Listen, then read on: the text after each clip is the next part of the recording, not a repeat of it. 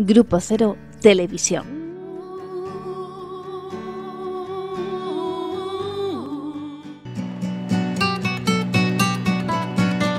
No estamos exactamente en ningún sitio. Somos esos arcángeles negros que solo aparecen para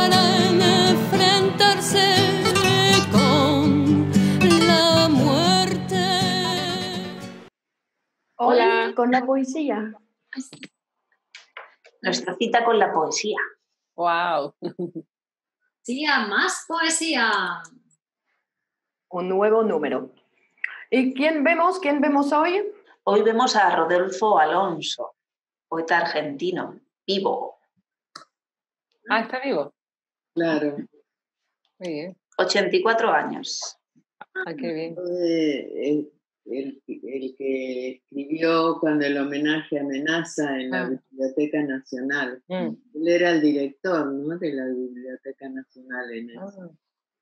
Ah, Ajá. qué bueno. ¿Y cuándo conoce Amenaza? ¿Cuándo? A través de Bajarlía me parece que fue. Mm, o no me acuerdo, pero habíamos, ah, no, Sí, puede ser a través de Bajarlía, no me acuerdo. Pero también ya conocía a Puenzo antes. Personalmente conocía a Puenzo. a Ponzo, Oh, Ponzo. Ponzo es el, cine- el cineasta, Ponzo es el poeta. Puenzo al poeta, sí. Bueno, empezamos a leer, ¿os parece? Vale. Adelante. Venga, vamos a ello. Con permiso, un segundito. ¿Tú nos dices cuando entramos? Sí, Bueno, vamos a ver. Rodolfo Alonso. He traído uno de sus poemas porque tiene muchos poemas cortitos que, que no son los que he elegido pa- para hoy, pero que, que les invito a conocer.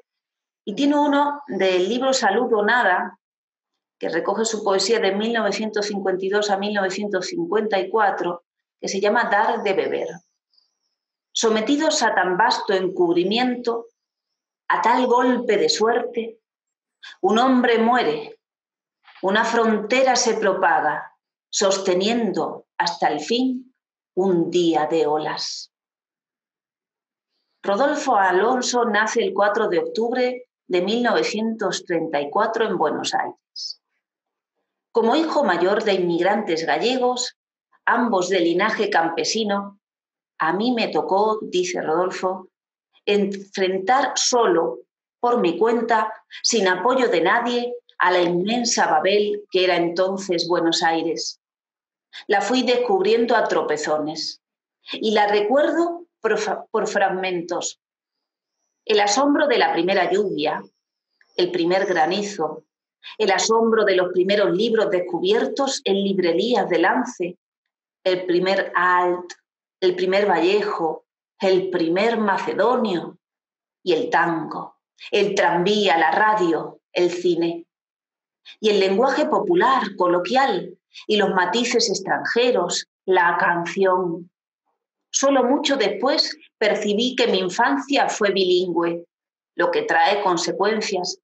Y a la vez, como dos infancias simultáneas, la metrópoli que me tocaba descubrir y la memoria de la aldea de montaña y la pequeña ciudad junto al mar de que aún hablaban entonces mis padres. Fue mi padre el que eligió el Colegio Nacional de Buenos Aires. Por mi parte, siempre tuve terror a los exámenes, a la idea misma del examen. Y no sé cómo logré atravesar no solo la primaria, sino todo el bachillerato, que incluía seis años de latín, sin habérmelo propuesto y sin que pudiera aún hoy explicar cómo lo hice, sin rendir ningún examen por mis buenas notas y alcanzando incluso galardones. ¿Puede el miedo empujarnos a tanto? Casi desde niño me descubrí como grafómono, como adicto incurable a leer y escribir. Y también desde muy joven me sentí poseído por una doble obsesión, ser tan fiel a la más exigente poesía como a compartirla con mis semejantes.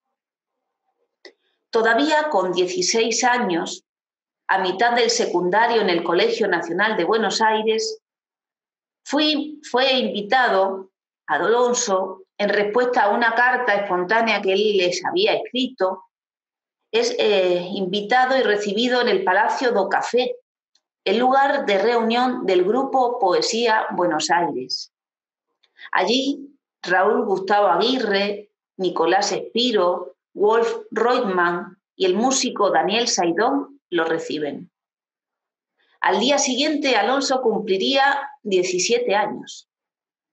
Fue recibido con naturalidad, fraternalmente, pero después de preguntarle si traía poemas, y allí mismo se lo juzgó sin concesiones. Las puertas estaban abiertas, pero la poesía era una cosa seria.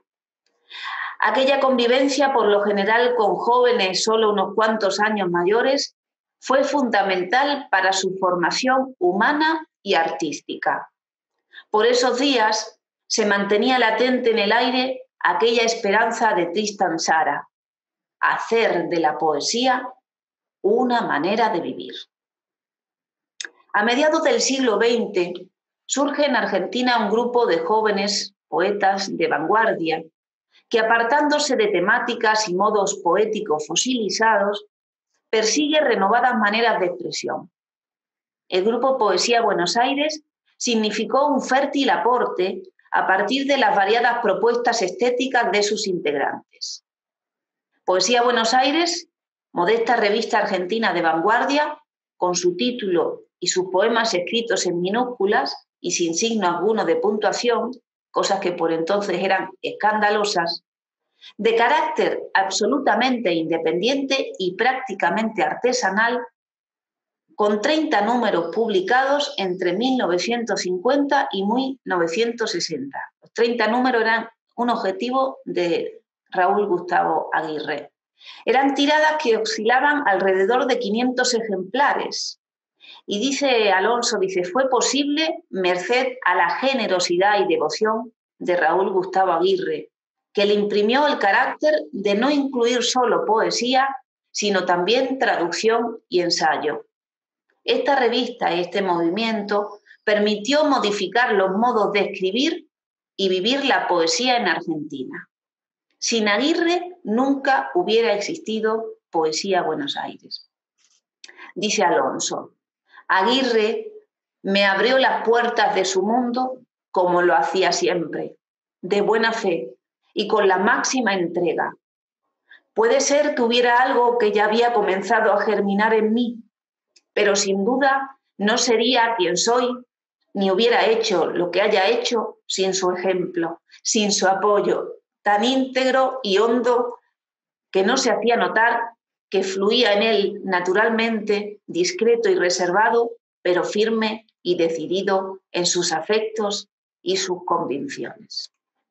Ahora sí. Sí. La camaradería, ¿no?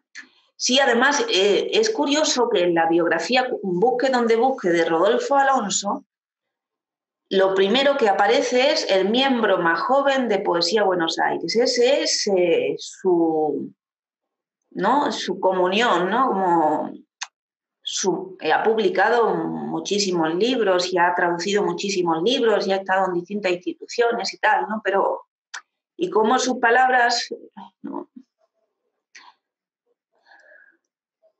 ¿Qué?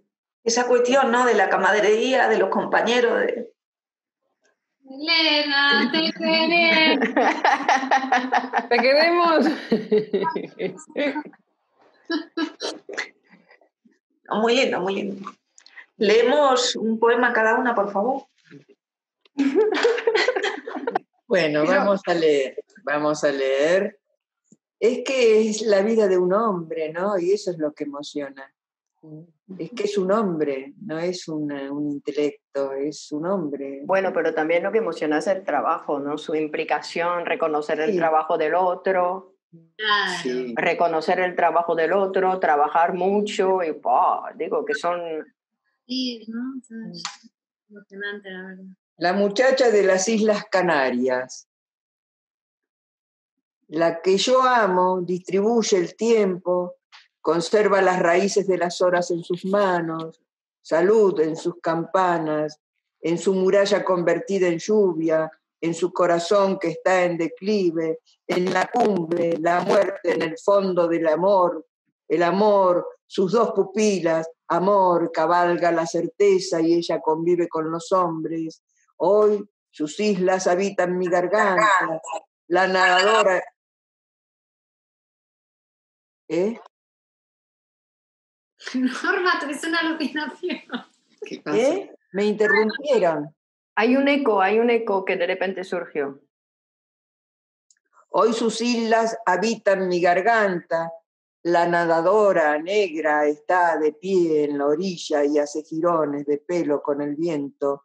La que yo amo persiste en el invierno, se da y huye para volver a posternarse. Levántate, esperada, tu corazón es un crisol, pero aún hay una escapada en tu sonrisa. La que yo amo está cerca de mí. Nuestra fuerza es la fuerza de los hombres, está en mis venas y en mis músculos, calientes como el pan, como la sangre, como el vino.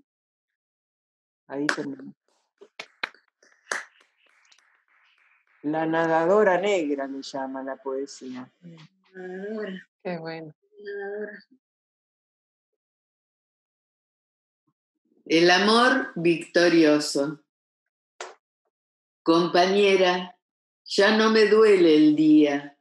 Mujer, contigo nace mi voz. Rama intensa el viento de tu nombre. Todo cae sobre mí.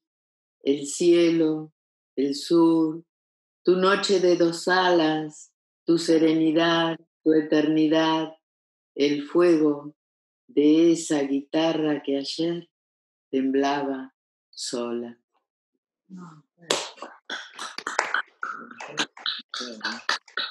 ¿Todo bien? Late el litio. Late el litio latente, liviana levadura, lúgubre legadura, aluvión de lingotes.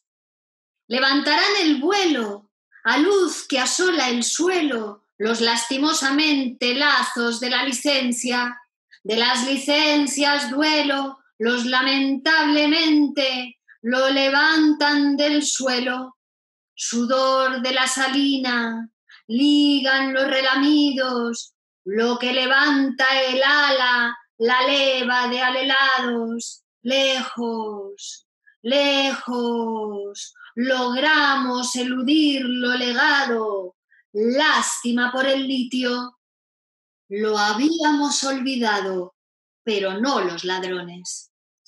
Mira tú, ¿dónde está la guerra de por el litio? Qué bueno. De poemas al gusto del día. Se llama así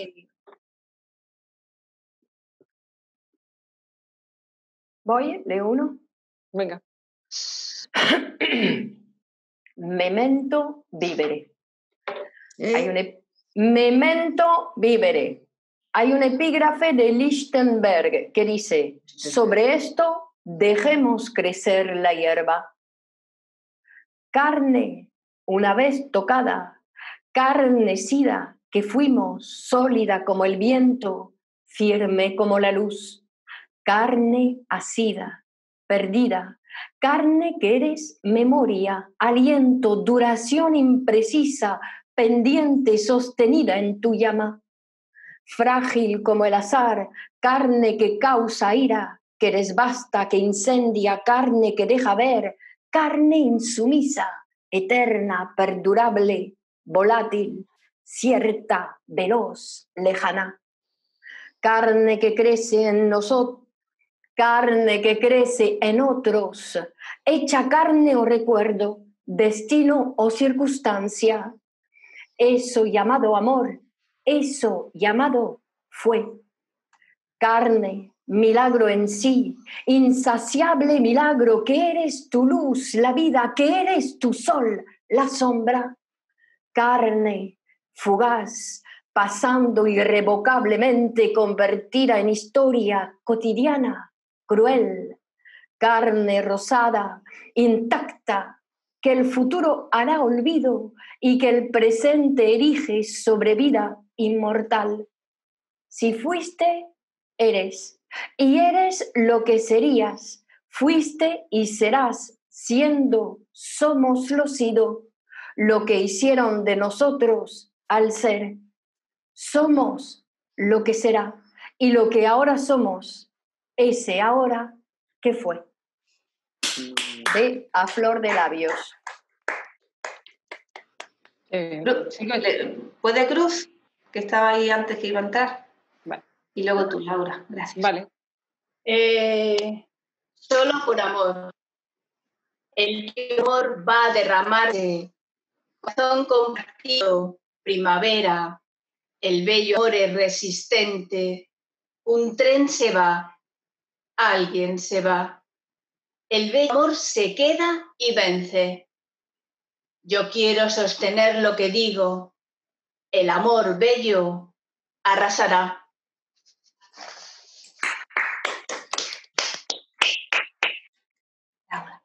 Muy bien. La naranja no sabe. La naranja no sabe que se llama naranja, como Plutón no sabe que se llama Plutón. Y yo mismo no sé bien por qué me han llamado Rodolfo nada menos. ¿Será no más que el hombre nombra para los hombres? ¿Por qué mi perro entonces y hasta mi gato a veces miran si se los llama? ¿O es que será eso acaso aquello a que decimos sutileza? Ah, mira tú. Bueno, seguimos un poquito con su biografía. Dado que la revista, dice Alonso, no se proponía triunfar, ni hacer carrera, ni profesionalizarse la revista Poesía Buenos Aires, elegimos o fuimos elegidos por la tierra de nadie, el lugar de combate, dice, más expuesto. Poesía Buenos Aires, aparte de haber contribuido más que ninguna otra publicación a la difusión de las principales corrientes poéticas del siglo XX, reveló sobre todo una nueva generación de poetas argentinos y una nueva manera de concebir el trabajo poético. Edgar Bailey, Mario Trejo, Francisco Madariaga, que hemos visto aquí, Leónidas Lamborghini, Hugo Gola, Francisco Urondo, que también hemos visto, Rodolfo Alonso, colaboraban con frecuencia en la revista, que también publicó los primeros libros de algunos de ellos. Después de una interrupción de sus actividades a causa del servicio militar, Alonso, que en aquel entonces, eh, eh, en, aquel entonces era obligatorio cursar eh, la mili, dice se descubre ya escribiendo y publicando poemas, traduciendo en varios idiomas, ya era amigo de pintores, de músicos, de escultores, de arquitectos, de cineastas y de otros artistas e intelectuales decididamente modernos. Estuvo a cargo del Departamento de Actividades Culturales de la Universidad de Buenos Aires, en los rectorados de José Luis Romero y Rieseri Frondizi. Fundó con el compositor Francisco Croft el Estudio de Fonología Musical de la UBA, el primer laboratorio de música electrónica en América Latina. En el año 1963, el Instituto Di Tella le solicitó especialmente el prólogo para el catálogo de su primer premio internacional de pintura. Armando Krieger, Rodolfo Arizaga, Alejandro Pinto, el belga Max van der Brugge y el colombiano Leandro Sabogal, entre otros, pusieron música a poemas de Rodolfo Alonso. Ha sido director de Cultura de la provincia de Buenos Aires en el año 1984 y entre 1986 y 1989 director del Fondo Nacional de las Artes. Dirigió las revistas Claudia, de la editorial Abril, Karina, de la editorial Atlántida, Galicia, para Centro Galego de Buenos Aires, y fue jefe de redacción de Argentime, eh, de Julio Moyano Ediciones. Ha sido especialmente invitado a importantes festivales internacionales de poesía en Colombia, Rumanía, Brasil, Bélgica, Canadá, Venezuela. Ejerce habitualmente la crítica literaria, ejerce porque lo sigue realizando, y también suele escribir sobre artes visuales. Es colaborador especializado en temas de periodismo cultural y artístico para numerosas publicaciones del país y del exterior. Tuvo a su cargo la Cátedra de Historia de la Cultura Argentina en el Instituto del Servicio Exterior de la Nación. Trabajó durante muchos años para el diario tucumano La Gaceta, específicamente en su suplemento cultural, y tuvo la oportunidad de viajar y conocer a muchas de las personalidades más prominentes de la literatura del momento. Siento muy, pero que muy joven, dice Aldo Peregrini, que vamos a ver muy pronto, me parece que todavía no lo hemos visto, le encarga seleccionar, prologar y traducir primero a Fernando Pessoa, absolutamente desconocido hasta el momento, incluso en Portugal, y luego a otro grandísimo poeta, Giuseppe Ungaretti, poeta italiano. Eh,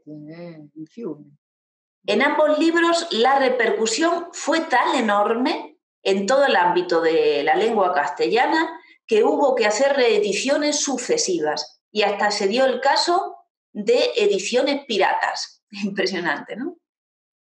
A los 33 años, después de recibir una indemnización por dejar eh, la dirección de una de las revistas con las que estaba contratado, dice funda su propia editorial, una editorial prácticamente artesanal también, pero que llega a lanzar más de 250 títulos.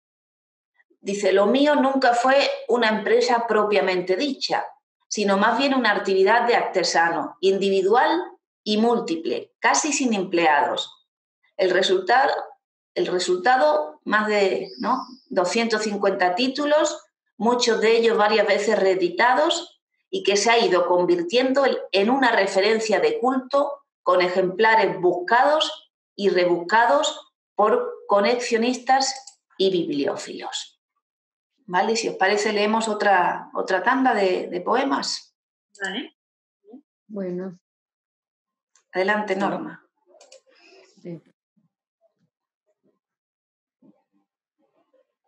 Perdón, ¿eh? Hoy, este, hoy tengo un mal día en realidad con las máquinas.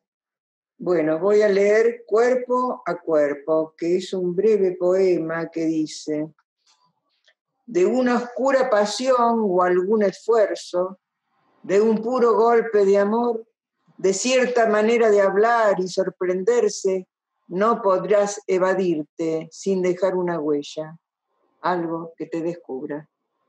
Ahí el siguiente también, por favor, Norma. Lejana Buenos Aires.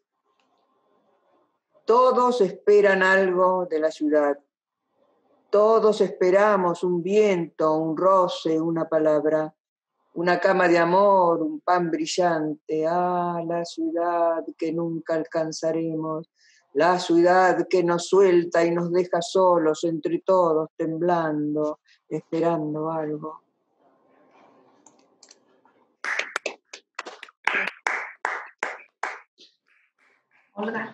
La muerte es feliz a lo que fue Albert Camus. Ya no tengo sorpresas de mi cuerpo, de mi cuerpo feroz y delicado, porque aunque nunca hablemos de la muerte, la muerte es la medida en cuanto hablamos. Negamos para ser, somos negando, y el futuro es ayer, ayer futuro, Solo el presente está desubicado porque el voraz abismo nos transcurre. Negamos para ser, somos negados. El instante perpetuo, Laoconte, Prometeo que delira encadenado, a una nube que muerde, a una paciencia de Sísifo soñaba, hechos destino a sabiendas o no, unibles, sanos.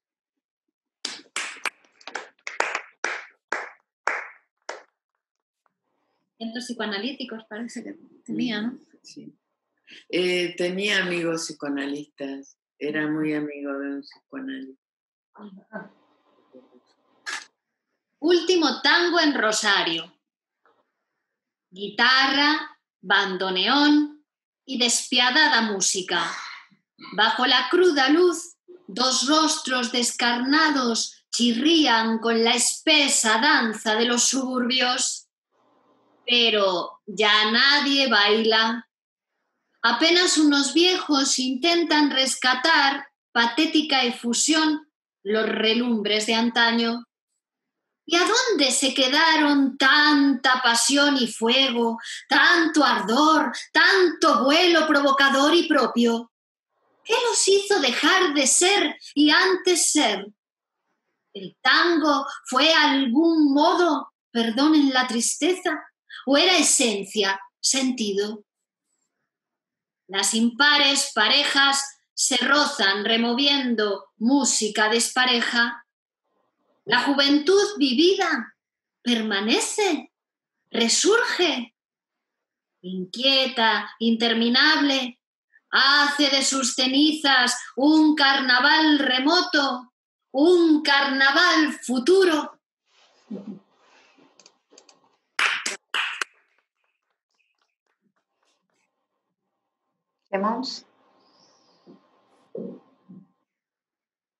No tiene micrófono. Lo abro, lo abro. Duro mundo. Y tiene un epígrafe de Roberto Art que dice, chao, amargura. Ágil, en medio de la mañana, de las ciudades que me condenan y el viento que me inicia, tengo derecho a tanto, a la caricia, al más rotundo abrazo, voy aprendiendo a respirar me acuesto, me levanto, voy conociendo los dedos del clima, hago mi día con los otros y agito unas palabras como tantas. Y me atrevo a decir estoy creciendo. Y me atrevo a decir hay que apoyar el pecho sobre el mundo para agotar la luz de la aventura, las naves del desvelo, el paso libre a través de las leyendas voy conociendo las voces de los inocentes, del primero caído del sonreír, el sabor de mis años acogidos sin destreza. Quisiera hablar de mí sin olvidar a nadie. Hago el amor, el amor en las plazas y en las calles, en todos los rincones de la historia, y no conozco piedras en el amor.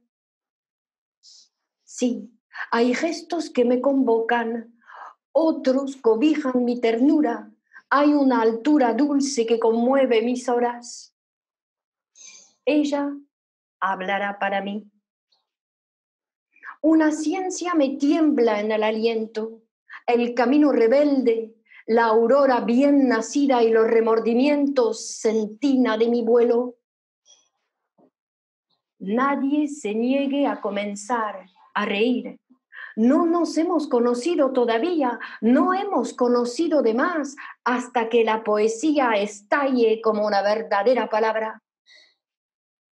Por la noche sé permanecer, sé crecer y conocerme o dejarme caer desprevenido sobre mis semejantes junto a mis semejantes. Y esto no cuesta mucho. Y este cuerpo sin aire es un silencio enorme. He construido mi dominio. Tengo el día, la ciudad, el pecho de la lluvia, la libertad como una mano. Y para recordar, sé cuánto pesa la esperanza. La esperanza, tu mano sobre mí, mano para jugar a cómo vamos, mano, comienza el tiempo. Artístico. Qué bonito. Adelante, Cruz. destino. ¿Cómo, cómo, cómo, cómo, cómo? No tiene el voz. Sí, sí, sí. Habla. No, no, si no se escucha. Se escucha, se escucha, solo se ha perdido un poco la ¿Ahora primera sí? palabra. Edad clandestina. Se murmura, se bebe. Si hubiéramos sabido, la certeza en su piel era una mano más. La sonrisa en desorden, el atardecer que se angustia de su filo, esconde tras sus brazos la madera reciente, la más reciente súplica, y oscila un gesto mineral hacia nosotros. Veremos hoy de nuevo al hijo de su altura, al sol que era en su idioma como un cansancio atroz, al niño que arrojaba su sangre por las calles. Un resplandor salvaje desnuda su cintura, intima su conciencia, deja pasar los años, peces nuevos que se encabritan en medio del suplicio. Detrás de la mañana encontramos el sabor que cubre sus hechizos. Su corazón es ahora un adolescente imaginario, un destino en secciones.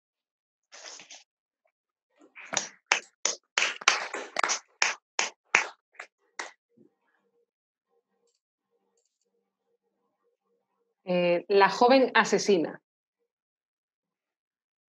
Cernías en medio de tu frente las verdades forjadas por los otros, las grandes palabras devoradoras del riesgo y el temblor. Tu presencia obligó al mundo a tomar nuestra medida, al viento a planear suavemente, dulcemente sobre tu asombro, hasta estallar, hasta que toda nuestra firme juventud solo quedó un gesto de sorpresa. No hay consuelo para aquel que de improviso es apostado frente a su propia espalda. No hay agua para sus maravillas, ni tensión para su orgullo. No hay tierras para él. ¿Dónde devolveré el resplandor con que marcaste mi aparición sobre la tierra?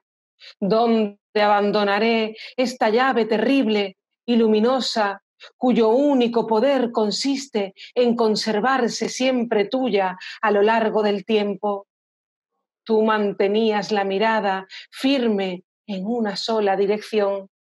No solo los claros años, los árboles, el aire, también la fresca seguridad de tu piel, las mareas invencibles de tu risa. He jugado, he perdido la flor de la aventura cuando creía cabalgar a su encuentro. Escucha en la alta noche los aullidos del solitario. Él ronda las huellas recientes de tus pasos que aún gimen en la arena.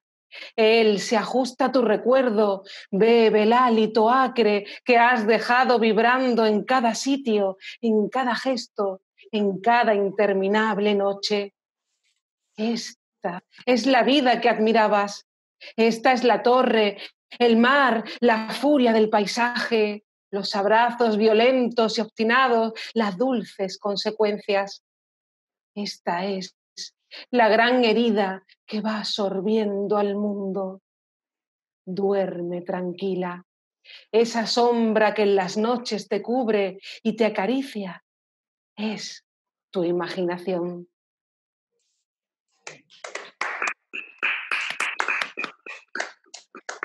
Bueno, seguimos un poquito por acá, que ya termina. Dice Alonso, hoy pareciera que el único objetivo de editar es el lucro. Cuanto más amplio e inmediato, mejor. Pero no siempre fue así. Hubo otros tiempos. Cuando yo era adolescente, por ejemplo, casi todo editor se hubiera avergonzado de publicar algo que no solo eh, tuviese mal nivel cultural, sino que pregonase públicamente su finalidad de lucro.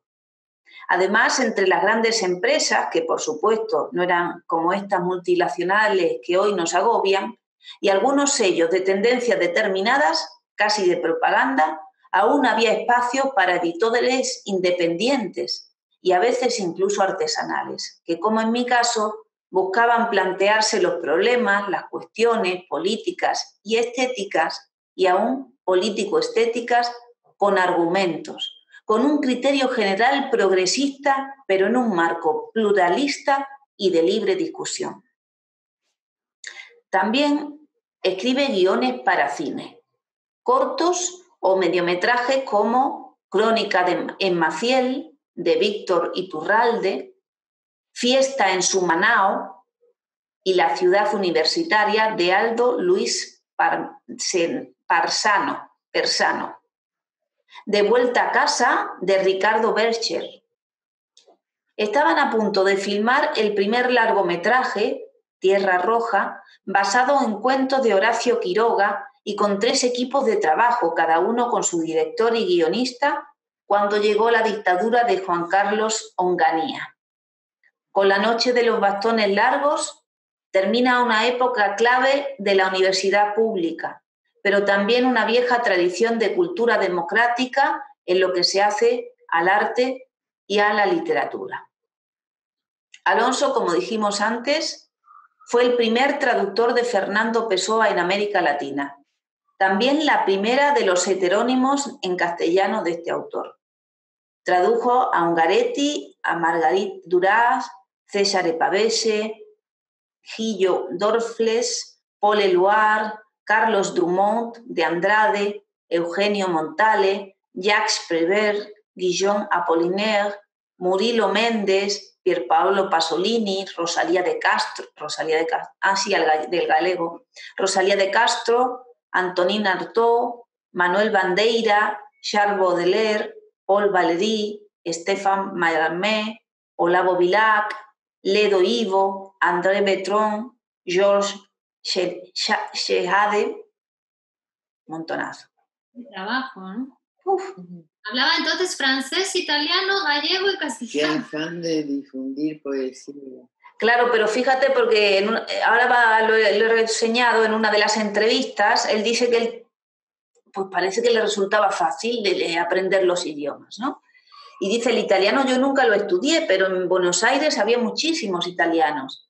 Dice, yo me siento como si fuera italiano, como si pensara en italiano. Dice, conecté, dice, él eh, tenía el lenguaje eh, galego, el idioma galego, la lengua galega de sus padres, y por eso también le fue fácil lo del portugués, dice, porque estaba muy, muy relacionado, pero como que se le daba fácil las lenguas, ¿no? Dice le sorprendía eso, pero, pero claro, no es fácil para nada traducir otros poetas y encima de otras lenguas, ¿no? Aunque es un meritorio su, su trabajo. Soy hijo de inmigrantes gallegos y mi infancia fue bilingüe. Y el gallego, que es una lengua de poesía, es la misma que usaban en la Edad Media los legendarios trovadores galaico-portugueses. Así que del gallego al portugués no hay demasiada distancia. Sí, francés e inglés. Y hasta latín, pero nunca italiano. Pero italiana fue la mayor inmigración europea a la Argentina y en consecuencia el italiano estaba en el aire en Buenos Aires, la ciudad donde nací y que tuve que descubrir por mí mismo. Yo intuyo que si tuviese algún don, es el don del oído, el don de lengua, dice. Sus antologías y sus propios libros han sido editados en Argentina, en Bélgica, en España, en México, en Colombia, en Brasil, en Francia, en Venezuela, en Italia, en Cuba, en Chile. Sus libros han sido ilustrados por grandes artistas argentinos, por Libero Badi, Alfredo Gilito Juan Grela, Clorindo Testa, Rómulo Macchio, Rogelio Poleselo, Guillermo Rux, Miguel Ocampo, Josefina Rovirosa. Aquí en todas las cifras encontré más de 30 ¿no? que ha publicado más de 30 libros de poesía, ensayo y narrativa. Eh, en algunos listados que encontré así de la bibliografía había como unos 85 libros. ¿vale? Que son, es una cantidad de 30 a 85 y mucha distancia. Muchos libros ha publicado. Dice tanto en Argentina como en el exterior, como hemos dicho. ha recibido innumerables reconocimientos. En el año 2002 recibe en Venezuela la Orden Alejo Zuluaga, máxima distinción de la Universidad de Carabobo. Las Palmas de la Academia Brasileña de Letras en el 2005. El Premio Único de Ensayo Inédito de la Ciudad de Buenos Aires en el 2005 y el premio del Festival Internacional de Poesía de Medellín, de Colombia en el 2006. Premio Nacional de Poesía, Premio Conex de Poesía, Gran Premio de Honor de la Fundación Argentina para la Poesía, Premio Rosa de Cobre de la Biblioteca Nacional, muchos, muchos reconocimientos. Desde el año 2012 tiene a cargo de la editorial universitaria Villa María de Argentina la colección La Gran Poesía, en la que sistemáticamente aparecerán los grandes nombres de la poesía universal en traducciones propias o de los grandes traductores de la lengua castellana. Y mm, eh, entrega a la Universidad de Princeton su archivo personal de, cartas y fotografías que está en proceso de catalogación, porque dice que va a estar mm, mejor organizado ahí que en su propia casa y que, bueno, que están eh, encargados ¿no? de, que él pueda también consultar ese archivo y bueno, que sigue vivo. La última información así que encontré es del año 2019, está muy bien, ¿no? Y, eh, sigue participando en, actividades, sigue publicando mucho y sigue al cargo de, esa sección de gran poesía y bueno, que sigamos, eh, leemos la otra ronda y creo que quedan algunos sueltos también y lo, los podemos leer. El poncho de los pobres.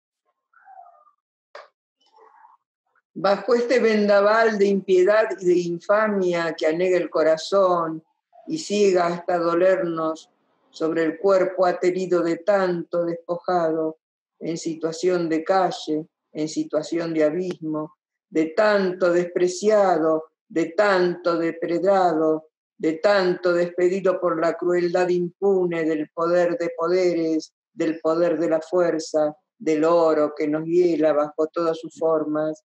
Todavía tenemos al sol dando una mano, el sol poncho de pobres en la misma miseria injusta, inmerecida, sobre un país desolado, asolado por deudas de eficacia siniestra.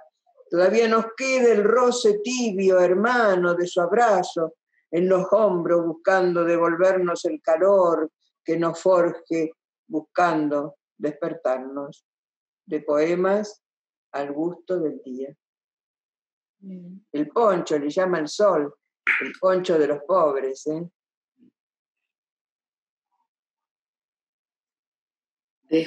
Descubrimiento de la adolescencia. Diego, ya no nos vemos tanto. ¿Son tus años los que te alejan de los míos? ¿O es estos que ya comienzan a pesarme? Se interponen. Hacen distancias, lagos de incomprensión y de silencio, diálogos que no se logran. Yo he cantado la alegría de ser tu padre y en tu infancia los descubrimientos, he descubierto, perdón, yo he cantado la alegría de ser tu padre y en tu infancia he descubierto el mundo. ¿Qué irás a enseñarme ahora?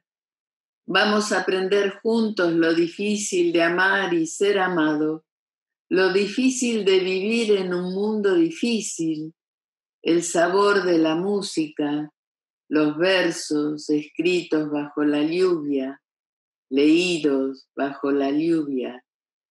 Tú eres tú. Espera, no, no, no. Tú eres tú y yo también.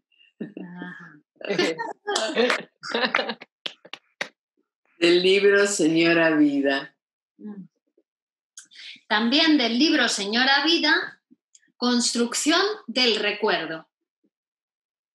Junto a la orilla de la lámpara La joven madre en la alta noche dibuja estampas para niños. La tinta china y los pinceles cantan amor sobre las páginas. El joven padre cabecea en el sillón, cansado de ese trabajo que le gusta.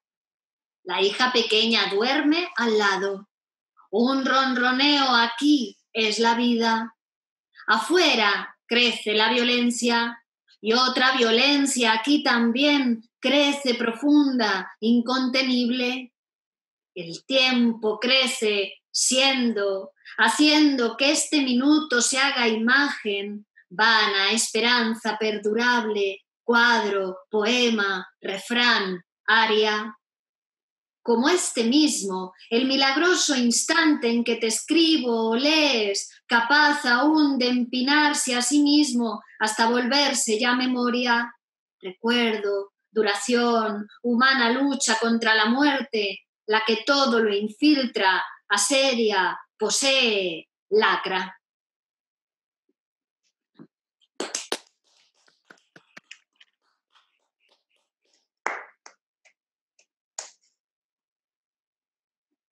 ¿Quién sigue? Clemons. No se escucha. Tiene el micrófono cerrado. Ahora sí. Déjà vu, déjà vu. Una mujer se desnuda en mi memoria, mientras afuera resplandece la ciudad o llueve y hace frío. Una mujer lava su pelo negro con el agua de mi infancia. Una distancia va formándose. Su piel es lenta y fresca como la mañana que acaricia. Su voz se hace lejana. Una mujer me alcanza, el primer seno descubierto, el primer seno acariciado, mientras adentro resplandece la memoria. Se llama Hago el amor. Muy bien.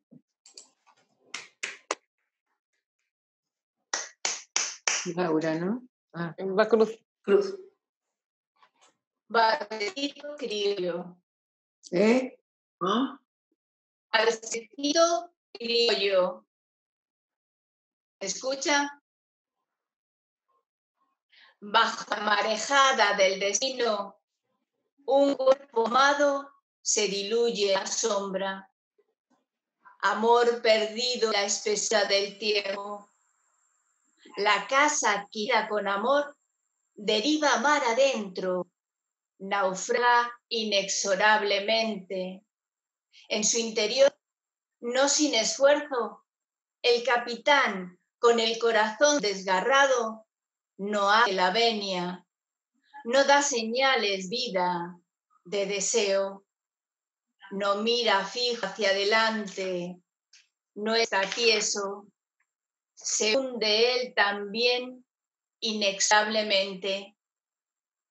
Bajo los años, bajo la ansiedad, un cuerpo tibio se enfría en el olvido. Amor que se perdió, que nos perdió. La casa cae con el mar al cuello sin pestañear.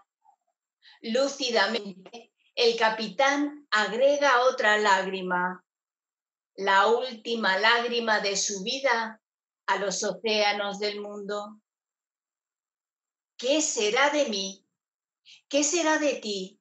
Perdidos en el mar, mareas, alamedas, solitos, amores, hojas muertas, grandes muertes pequeñas, asesinamientos, crímenes de lesa vida. Del libro Señora Vida.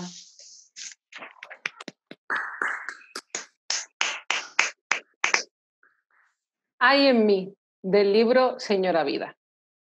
Hay en mí residuos de clase, restos de educación, maneras prestigiosas o impuras de comunicarse, abismos, ancestros, dudas, deudas, formas.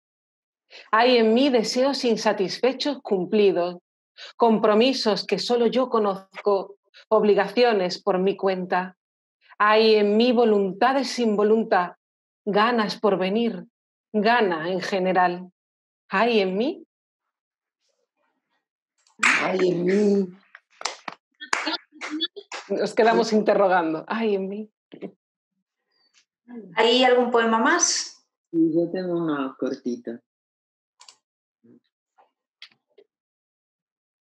Levanto testimonio.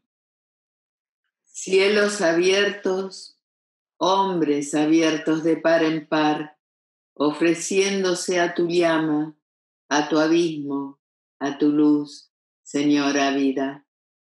Aunque sea solo un instante contra la eternidad, esta es mi noche, mi salud, mi calor, mi risa, la única prueba ahora de que absolutamente todo valía la pena. Claro, claro. Qué bueno ese. Orillas del Paraná. Estas aguas cavan la verdad silenciosa. Ellas sostienen el primer silencio, el pecho abierto al sol, la ruina de la angustia. En la sombra propicia crecen los acontecimientos capaces de habitar su oscura imagen de la tierra. Vamos a adelantar un pie sobre el absurdo. Vamos a conocerte, mundo incierto y animal, agua madura.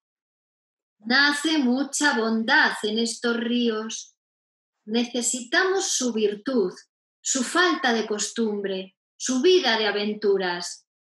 No se les puede dar la espalda.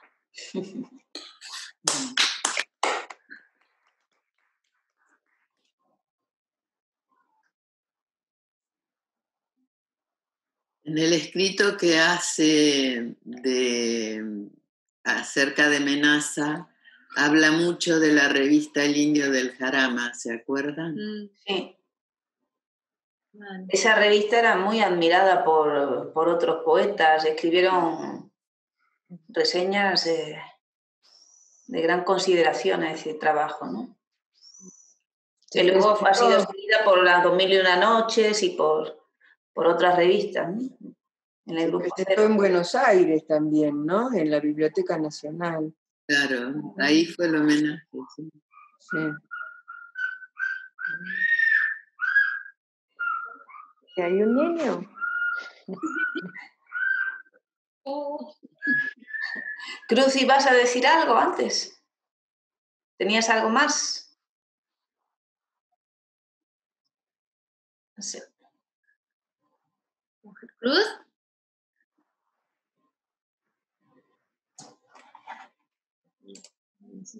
no, no soy. No oye.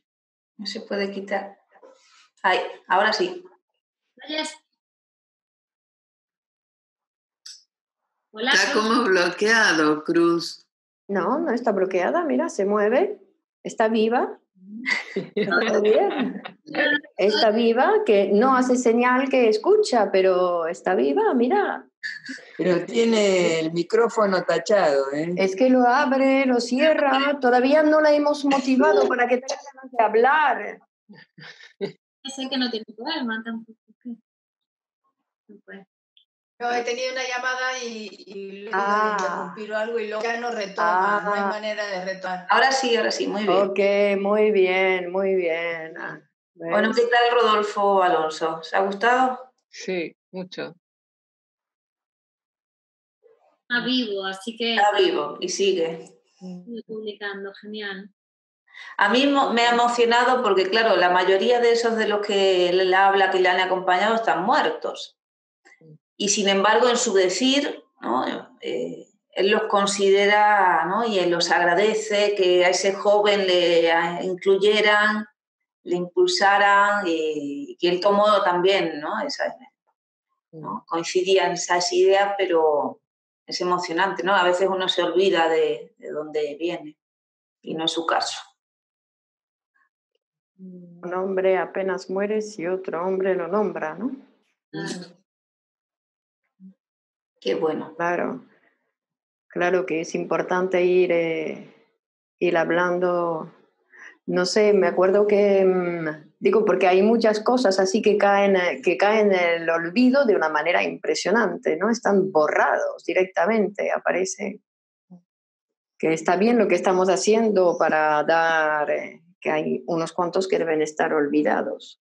Y cómo están entrelazados, ¿no? Porque también en, la muestra que hacemos de, los autores, ves cómo unos se entrelazan con otros, se conocen, se incluyen, se escriben poesía, ¿no? Se leen. Se leen, claro. Es como un nutriente de muchas personas, claro. Claro, porque un poeta no viene de la nada. Claro, claro aquí lo ves. Es psicoanalítico, ¿no? Pero claro, sí. todo bien. Y sí, mm. seguro que leyó Lacan. Mm. Sí, como también aparte de la poesía están atados también a un pensamiento fuerte, ¿no? Porque hay algunos, aquí se ve como la ideología que transmiten a través de la poesía. Creo que viste que esta semana o esos días ahí eh, Menaza hablaba del, en relación al racismo, supuestamente esta expresión ahí de eh, hacia los negros en Estados Unidos, ¿no? Y que él decía hacia la comparación con los poetas, que nunca los poetas para poder seguir escribiendo, pues aceptaron mm, esa, esa negación, ¿no? Que la poesía, lo, lo, poético es como algo como si no existiese. Qué fuerte, ¿no? Mm. que le decía que los negros habían conseguido muchísimo. Más que el poeta, ¿no? Claro. Sí, pero él también decía para que el poeta lo dejaran tranquilo, para pudiese seguir escribiendo, porque claro, como viene a defender ¿no? Viene a defender, eh, después se dejan comprar, hay algunos que se han dejado comprar. Le hacen Pero esos son los intelectuales, ¿no? Ya es la diferencia, esos son los intelectuales los que se dejan comprar y, cogen el discurso del, Estado, ¿no? Que es la diferencia, ¿no? Bueno, no sé, sí. No sé si es así. Sí, sí, que es así, pero digo que a veces puede ser que hayan fabricado una obra bueno, con los artistas plásticos pasa mucho. La compran. La poesía se vende, que con la poesía es muy difícil, ¿no? Porque es una cosa que se entrega para el que para el que está, o sea, es para, solo el poeta puede producirla, ¿no? Está preparada, igual que para escuchar, para entenderla, ¿no? Para, para que te toque tienes que estar, es una puerta cerrada para los imbéciles, como decía Aldo Pellegrini, ¿no? No, aparte que le das una vuelta lo dices de otra manera, ¿no? Como es que me acordé lo de entre la, entre la rosa, entre su majestad y la rosa, no sé, escoja, entre el clavel y la rosa, escoja, ¿no? Que le dice ahí de una manera. No, ese fue Quevedo, puede ser la razón, ¿no? Se burla también a... Claro, es que por eso. Te dicen que tienes que hacer una cosa, vale, lo voy a hacer, pero le da una vuelta y ahí lo dice solo para que no se dé cuenta. Todo por una apuesta, ¿no? Bueno, pero te dice también esa libertad del juego del niño que lejos de la moral se permite combinar palabras y además se divierte. El poema, el poeta toma un poco eso, pero para allá con para escapar de una represión, ¿no? de una imposición que le quiere apartar de esa libertad de expresión. Bastante elaborado, ¿no? Lo que hace ya es otra cosa. Nada, porque va a haber otro que lo va, también piensa que hay un otro que lo va a recibir. Claro, el otro es el que lo termina de ¿no? cerrar el sentido, pero ya en su psiquismo. Por eso la poesía es una puerta cerrada a los imbéciles, y Aldo Peregrino. Los imbéciles no se enteran de nada. Bueno, así que. Bueno, seguimos el próximo día.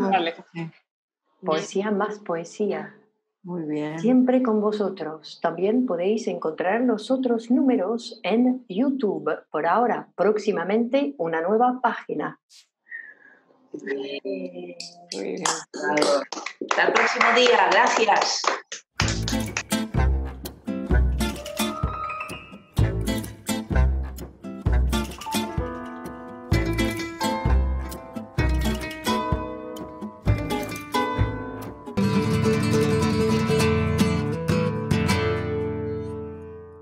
Esto es publicidad.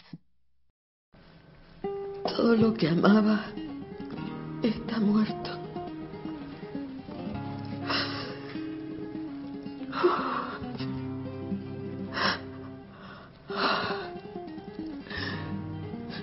Soy la única que vive de mí.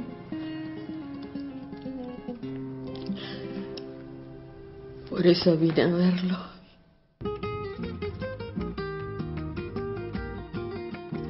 Departamento de Clínica Grupo Cero. Psicoanálisis al servicio de tu salud. Te atendemos en Madrid y también en las consultas online. Llámanos al teléfono 91 758 1940. Esto es publicidad. Conferencia de psicoanálisis con psicoanalistas de Grupo Cero. Te acercamos el psicoanálisis para que te acerques a él en Grupo Cero Televisión www.grupocero.org